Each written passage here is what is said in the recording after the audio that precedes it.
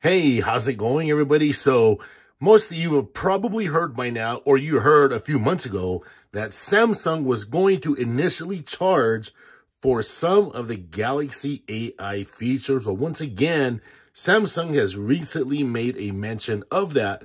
Question of the day, let's come over here to the Galaxy Tips app.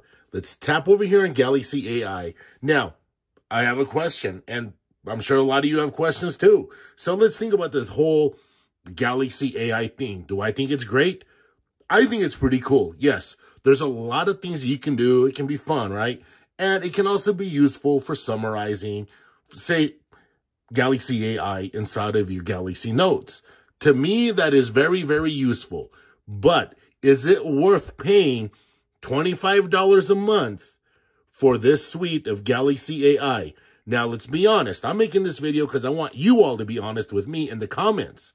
How many of you are actually using these features inside of your Samsung Galaxy device? Not once have I done any translate calls and more apps.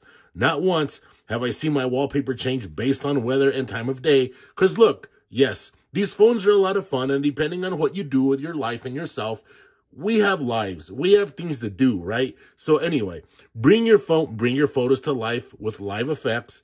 Yes, there's lots of things circle to search. I don't think they're going to pay for that. They're not going to make you pay for that. Hopefully not. And right now, Gemini Live is free. So, I mean, and that's actually kind of cool.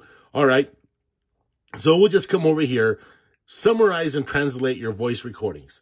Now, I would like to know in the comments, how many of you all are actually using that?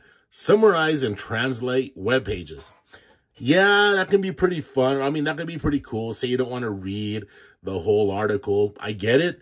But is that worth $25 a month? Because at the end of the day, let's let's look at us. We the we we the users here, we the people here. Look at all this stuff. Look at these different features, right? How many of you how many of these features are you actually using? Me, I'm using the summarize feature, and yes, I use the AI features inside of Galaxy Notes. Two features out of these. Maybe sometimes I'll erase something or I'll do something with a photo for a thumbnail once in a great while. Not often. Most of the time, I already know what I'm going to do inside of my thumbnail, inside of the Galaxy Photo Gallery. So my question is to you all, is it going to be worth $25 to have this Galaxy AI, to have a lot of these features that me and you are not even using. So you want to be paying $25 a month just to use two or three of these. I want to know in the comments what you all think. I'm, I, I really want to know. All right, everybody. Take care.